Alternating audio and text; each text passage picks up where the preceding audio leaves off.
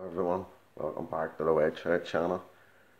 Today is our third and final installment of our dropper rig series. Today I'm going to show you how to tie the Lazy Man's dropper rig. This is my preferred dropper rig because one, it's a lot easier to tie with freezing cold fingers in the middle of March and April and two, it's lazy and anything we can do to speed up time fishing is better than time spent tying rigs. Let's jump into it and have a look. Okay, starting off, I need a few swivels, size 14, size 12, anything between them two will do fine. I'll be trying to make this as inconspicuous as we can, so smaller swivels play their part there. Depending on what mainline lure you're going to use, if it's a fixed lure, you want to add a small snap swivel with that too. Not forgetting our fluorocarbon either. Let's have a look how we get tying this up. This rig doesn't really require too much fluorocarbon leader, so start off under a braided main line. Take your swivel and just tie that direct.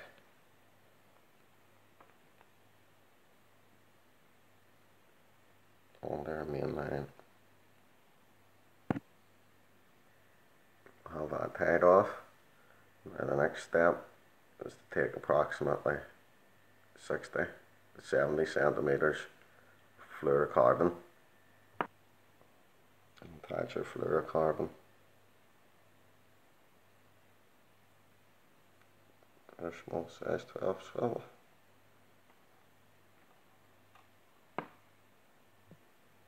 There we that tied off, nothing fancy. Two blood knots, attaches it. Now for the next step, choose your fly accordingly, whichever one you want, and attach this, it doesn't have to be a very long dropper because we're going to attach this off the swivel all we need really is something around 20 25 centimeters attached to a lip knot now what do and this is important at stage is connect our dropper to the top end of the swivel it's attached to the braided main line can be a wee bit tricky eh? just hold it off to the side like this. Off your main line. That'll give you room enough to tie the dropper on. Now I have that tied off. You can see how the dropper just sits off our swivel. And that'll just hang there lovely. Never had too much tangle ups for the dropper lipping back round or anything. The swivel seems to prevent that happening. And you can see the arc that the fluorocarbon's coming off there. That's ideal. That'll hang our dropper fly off from the main line. That will make it look much more better and realistic target for a sea trout. Next stop, select whether you want to fish a fixed lure or a line through lure. For fixing a fixed lure. All you need to do, down to the end, your fluorocarbon leader, tie off a link,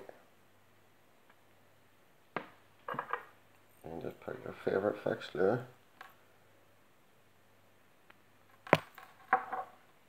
That's her. There you go. You can see, it's your dropper or flying. What I like about this is you'll find, especially if you're fixing a fixed lure, like a 360 is a real great rotation, as I'll spin around. As you can see, our, our swivel will spin, but only spin at the bottom end, so it will. This will stay fixed, but a vibration will come up through the leader on the end of her fly. And I think that wee bit of vibration can sometimes trigger off a take and a hard day. Anyway, the Lazy Man's Fixed Dropper. Give it a go for yourself. It's a great method for catching sea trout at any time of the year. If you're liking this content, give it a big thumbs up. If you're not subscribed to the channel, maybe think about doing that. And I'll see you soon in the next video.